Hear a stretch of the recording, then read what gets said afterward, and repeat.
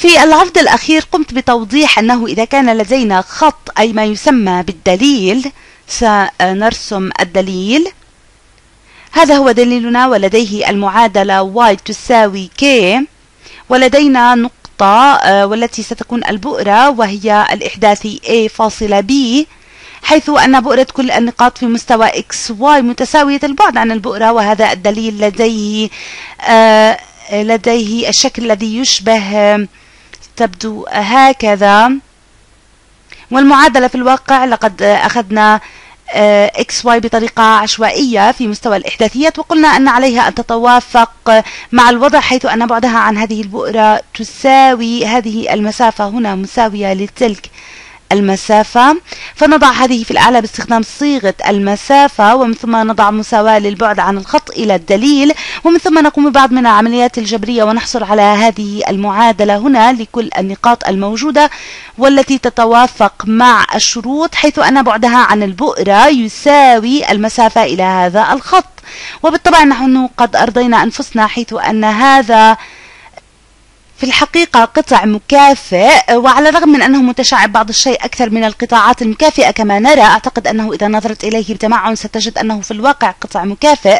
على سبيل المثال القطع المكافئ المألوف هو y يساوي x تربيع فكيف يمكن لهذا أن يكون كهذا؟ حسنا في هذه الحالة هذا المعامل في الخارج يساوي واحد. إذا في هذه الحالة آآ آآ واحد على اثنان بي ناقص كي يساوي واحد. دعوني أمحو هذا الشيء حتى لا يربككم حسنا المعامل أمام عبارة x تربيع مساوي لواحد. كم تساوي إيه إنها تساوي في الواقع دعوني أعيد الكتابة بهذه الطريقة. يمكنني إعادة كتابة المعادلة على النحو y ناقص صفر. تساوي آه، واحد ضرب x ناقص صفر تربيع. وأتمنى أنك ترى أن هذا لها آه، آه، نفس النمط رغم أن x و y يقعان على جوانب مختلفة من المعادلة. إذا هنا كما ترى أن واحد على اثنان ضرب b ناقص k هي المعامل أمام عبارة x ناقص a تربيع. إذا حصلنا على ناتج هذه ويساوي واحد في هذه المعادلة a تساوي صفر. إذا هذه A تساوي صفر. آه هذا المنحنى X تربيع. آه Y تساوي X تربيع. A تساوي صفر. ثم آه B زائد K على اثنان. هذا سيساوي وأبقى متذكرا آه، أنا فقط أقوم بتبديل الجانب الأيسر مع الأيمن. هذه y ناقص عدد ما وهذه y ناقص صفر. إذا هذا العدد يجب أن يساوي صفر فنحصل على آه، b زائد k على اثنان يساوي صفر. والآن يجب أن نكون قادرين على استخدام هذه المعلومات لإيجاد المعاملات الفعلية للبؤرة والدليل. لما أسميه الشكل المألوف للقطع المكافئ y تساوي x تربيع. تذكر ما قمنا به في العرض الأخير قلنا ما هي المعادلة الموجودة على نفس الخط الذي يساوي البعد بين هذه البؤرة وهذا الدليل؟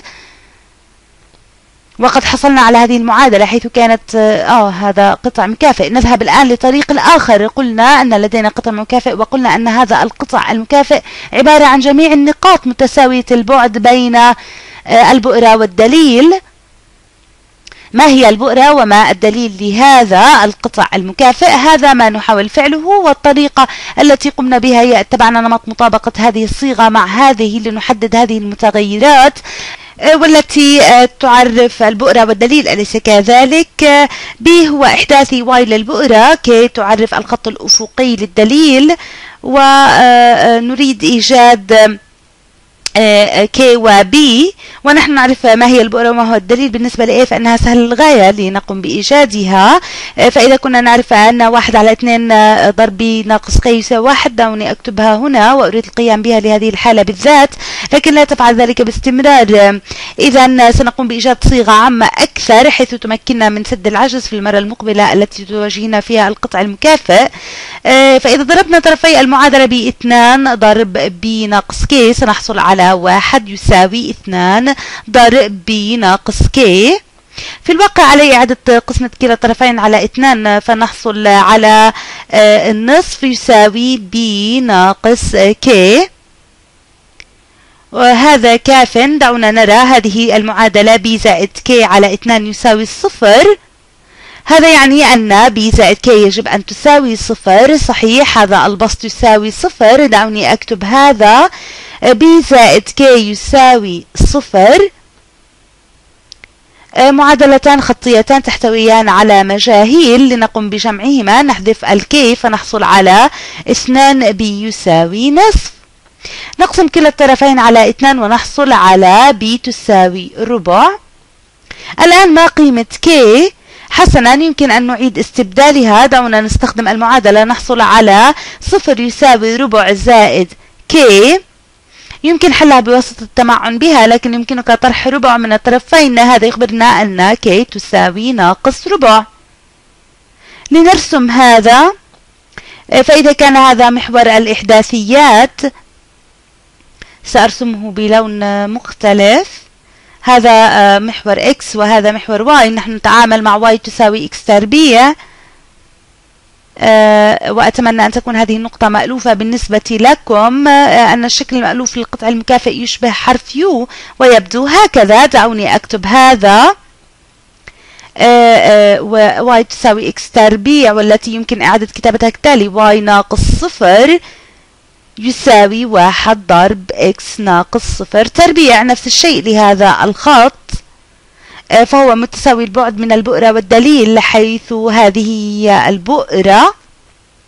وكيف لي أن أعرف أن البؤرة هنا بدلا من هنا أو هناك؟ أولا عليك التفكير بها لكن الشيء الآخر الذي ندركه هو ما هي رأس آه، القطع المكافئ وأعتقد أننا قد مررنا آه، حيث أن الرأس هي الإحداثيات التي أعطيت من قيمة x وقيمة y أو ما هي آه، قيم x التي تجعل العبارة بإكملها صفر. هذه العبارة صفر وهذه في الأساس صفر صفر. إذا هذا رأس القطع المكافئ هذا الرأس صفر صفر هو الرأس. وسأقول V بإختصار للرأس.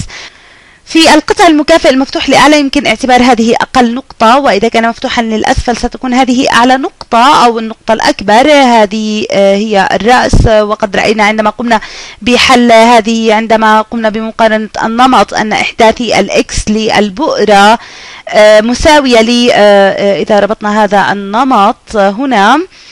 X ناقص a تربيع ولدينا هنا x ناقص صفر تربيع. هذا سيكون نفس الشيء دائما. إذا الإحداثي x للبؤرة سيكون دائما آه، هنا دائما سيكون نفس الشيء للإحداثي x للرأس. إذا آه، قمنا بإيجاد أن a تساوي صفر إذا الإحداثي هنا هو صفر والآن ما هي b آه، إذا هذا كان الإحداثي آه، آه، صفر بي. أوجدنا أن قيمة بي تساوي ربع إذا صفر ربع. ومن ثم فإن الدليل عبارة عن الخط y يساوي k. في هذه الحالة أوجدنا أن k تساوي ناقص ربع. إذا الدليل سيكون هنا. هكذا. هنا سيكون الخط y تساوي ناقص ربع. وقبل كل هذا انظر هنا حيث أن الناتج مثل ما نعرف لأن هذه النقطة الرأس متساوية البعد إنها ربع أسفل البؤرة وربع أعلى الدليل. إذا على الأقل نجحت هذه الحقيقة لكن في ظروف محددة ولا تريد الذهاب خلال كل هذه الحالة في كل مرة آه، تجد فيها البؤرة أو الدليل للقطع المكافئ. لنرى الآن إذا كان يمكن الحصول على حلول عامة آه، وفي الواقع ما أنوي القيام به هو أريد أن أمحو كل هذا لأنني أريد إعادة استخدام هذا ولم ألتزم آه، آه، بهذه الصيغة. دعوني أمحو كل هذا سأمحو كل ما قمنا به هنا في الأسفل. الآن دعونا نقوم بحل مسألة بشكل عام وفي الواقع لقد أسأت استخدام هذا كثيرا. دعوني أعيد كتابته. سأضع y على الجانب الأيسر. بدلا من تكرار آه، آه، إذا هذا مساوي لي سأقوم بلون مختلف هنا. الاختيار الصعب سأستخدم اللون الأصفر الفاتح. إذا لدينا y ناقص b زائد k على اثنان يساوي آه، واحد على اثنان b ناقص k آه، ضرب إكس ناقص a تربيع. هذا هو موضع جميع النقاط التي تقع بين الدليل و ويساوي k حسنا. إنها متساويتا البعد إلى الدليل والبؤرة A B. لنفترض أن لدي قطع مكافئ وأريد أن أجرب استخدام أحرف مختلفة كي لا ننزعج. لقد أعطيتكم القطع المكافئ y ناقص y واحد ولنفترض أن هذا القطع المكافئ لديه رأس على النقطة x واحد y واحد. آه، إذا هذا القطع المكافئ الذي أقوم برسمه لديه رأس هنا فتكون صيغته آه، y ناقص y واحد يساوي قيمة ثابتة. دعونا نكتب هذه آه، a وهي تختلف عن A الصغيرة. هذا ما أردت الشروع إليه في العرض السابق ومن ثم أدركت أنني كنت أحاول تحميل الفيديو وكان طويلا وربما مزعجا. على أي حال إذا عامل ثابت أو عامل قياس معين. A ضرب x ناقص x واحد تربيع فإذا أعطيت هذا القطع المكافئ أو إذا استطعت إخراج آه، القطع المكافئ لهذه الصورة فكيف يمكن إيجاد آه، K B و A لتعرف إحداثيات الدليل والبؤرة. أسهل شيء أن نجد A لأنك بهذه الحالة ستقوم بعمل تناسق آه، نمطي. هذا سيساوي هذا. آه، إذا تعلم أن A يساوي X واحد. آه، إذا الإحداثي X للبؤرة هو نفسه الإحداثي X للرأس. ويمكن أن تشابه النمط حيث أن العامل القياسي الذي هنا سيكون نفس هذا أي واحد على اثنان B ناقص K لنكتب هذا آه، إذا A تساوي واحد على اثنان B ناقص K. وفي النهاية نحصل على هذا دعوني أستخدم لونا آخر. سأستخدم الأرجواني ب زائد k على اثنان. لدينا y ناقص y واحد وهذا سيساوي y واحد. إذا لدينا y واحد يساوي b زائد k على اثنان. لدينا الآن معادلتان من مجهولين. تذكر هذا سيكون معطى. A ستكون معطى وكذلك Y واحد ستكون معطى لأن يمكننا حلها آه، من خلال B و K والأعداد التي لدينا. دعونا نرى إذا آه، يمكننا فعل ذلك. إذا ضربنا طرفي المعادلة ب B ناقص K نحصل على آه، B ناقص K ضرب A يساوي نصف. نقسم الطرفين على A فنحصل على B ناقص K يساوي واحد على اثنان A. وفي الجانب الأيمن دعونا نستخدم هذه الصيغة الأخرى. هنا إذا ضربنا الطرفين باثنان سأستخدم لون مختلف. فنحصل على اثنان y واحد يساوي b زائد k معادلتان بمجهولين. لنأخذ هذا وننزل هنا. فنحصل على b زائد k يساوي اثنان واي واحد. ومن ثم نجمعهم ونحصل على اثنان بي يساوي كي تحذف نفقة أجمع هاتان المعادلتان واحد على اثنان A زائد اثنان واي واحد ويساوي B يساوي وتذكر أنها إحداثي واي للبؤرة يساوي آه نقسم كل شيء على اثنان آه واحد على أربعة A زائد واي واحد إنها مثير للاهتمام. يوجهنا هذا إلى أن نأخذ إحداث y للرأس ونضيف إليه ربع a وهذا بالضبط ما حصل في المرة الأخيرة أليس كذلك؟ لقد قمت بمسح ما كتبته المرة الأخيرة لكن في المرة الأخيرة عندما كان لدينا y يساوي x تربيع كانت قيمة هذا صفر أي العامل القياسي كان صفر. فإذا رأينا أن إحداث y للبؤرة كان ربع وهذا نفس ما نعرفه إذا هذا هو b. هذه قيمة b. الآن دعونا نرى إذا يمكننا إيجاد K. نحن نعلم أن آه، آه، دعونا نقوم بها في الأعلى هنا. نعلم أن 2y آه، يساوي B. أي واحد على أربعة A زائد Y واحد زائد k ويمكن أن نطرح y واحد من الطرفين فيحذف هذا يتبقى لدينا y واحد نطرح ربع a من الطرفين y واحد ناقص ربع a يساوي k. قمنا بحلها إذن آه، هذا مثير للانتباه. حتى الآن تبدو هذه آه، أنها صيغ متشعبة لكن إذا قمنا بتمثيلها فعليا فأعتقد أنها ستصبح بديهية. بعض الشيء مرة أخرى إذا لدينا القطع المكافئ آه، y ناقص y واحد يساوي a ضرب x ناقص x واحد. تربيع والتمثيل لهذا القطع المكافئ سيكون هكذا. لا أعرف أي هي بالنسبة لمحوري x و y سيبدو هكذا. سيأخذ شكل u. سيكون متجها نحو الأسفل لكن سأفترض آه، تمثيلا للقطع المكافئ مفتوحا للأعلى الآن. هذا له هذه الصيغة. هذه ستكون الرأس هنا وسيكون الرأس على النقطة x واحد y واحد. ما هي قيمة y التي تجعل العبارة تساوي صفر؟ إنها y واحد. ما هي قيمة x التي تجعل العبارة صفر؟ إنها x واحد. الآن نلاحظ ما هذا الدليل. إنه الخط y يساوي k لكن ربع أقل من أقل من هذه القيمة هنا. إذا سنذهب إلى ربع. ليس فقط ربع. هذا العامل القياسي ضرب ربع. إنه ربع A. هذه المسافة هي ربع A من ثم نحصل على الدليل. أليس كذلك؟ y واحد ناقص ربع A يساوي K. إذا y واحد ناقص ربع A يساوي K أو ربع KA إذا الدليل سيكون هنا. آه، آه، هذه y تساوي y واحد ناقص ربع آه، A.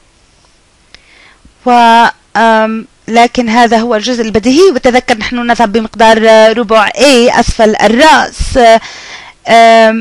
ومن ثم النقطة البؤرية قيمة x للنقطة البؤرية. ستكون x واحد وهي نفس قيمة x للرأس. ثم نذهب قيمة y وهي b ونذهب فوقها ربع a. وهذا منطقي لأننا نحتاج أن نكون متساوي البعد من الدليل والبؤرة. إذا y واحد زائد ربع a. الحدس هنا أن نأخذ ربع A فوقه. بشكل عام إذا أعطيتكم فكروا بهذا بسرعة. إذا أعطيتكم معادلة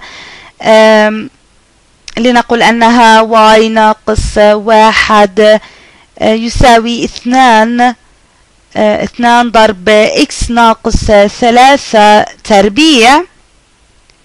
فيمكننا أن نمثلها ونرسم البؤرة بشكل جيد. وفي الواقع إذا كان لدينا أكثر من بؤرة آه، دعونا نرى هذا محور X وهذا محور Y فأين الرأس؟ الرأس يكون عند النقطة ثلاثة فاصلة واحد. إذا نذهب واحد اثنان ثلاثة. واحد. إذا هذا الرأس إنه قطع مكافئ مفتوح للأعلى لأن هذا عدد موجب في الواقع. ليس علينا أن نعرف هذا فإذا قمت برسم البؤرة والدليل ربما ستكون قادرا على إيجاد ذلك. لكن أين نقطة البؤرة؟ نقطة البؤرة ستكون آه، ربع A فوق هذه النقطة آه، واحد على أربعة ضرب اثنان ويساوي ثمن. إذا المحل الهندسي سيكون قريب جدا سيكون في الأعلى هنا. ستكون ثمن فوق الرأس ومن ثم سيكون الدليل ثمن تحته أي سيكون هنا. الدليل سيبدو آه، هكذا. الدليل سيكون هنا ونقطة البؤرة هنا وتمثيل القطع المكافئ سيبدو آه، هكذا. على أي حال أتمنى أنني لم أزعجكم كثيرا والهدف من القيام بكل هذا هو لإدراك أنه سهل أن نجد البؤرة والدليل للقطع المكافئ إذا كان لديك معادلته بهذا الشكل. نأخذ أي عدد مهما كان ونضربه بهذه العبارة المربعة. أي عدد كان وتكون, وتكون القيمة المربعة ونقسم على واحد على أربعة. ضرب هذه القيمة. ومن ثم أنت تعرف المسافة من الرأس إلى البؤرة وتعرف المسافة من الرأس إلى الدليل. وبهذا يتم الحل. أراكم في العرض التالي.